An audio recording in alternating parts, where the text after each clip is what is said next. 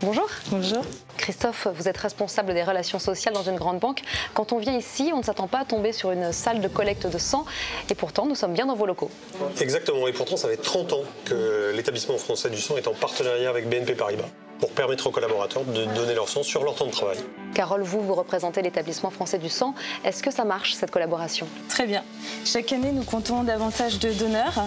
Il est important pour nous de venir euh, au plus près des donneurs en s'installant dans les entreprises puisque le principal frein au don est le manque de temps.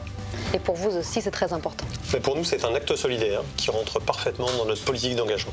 Merci beaucoup à tous les deux et surtout euh, félicitations pour cette belle action. Grâce au don de sang, ce sont chaque jour des vies sauvées et l'occasion de partager un peu de nous.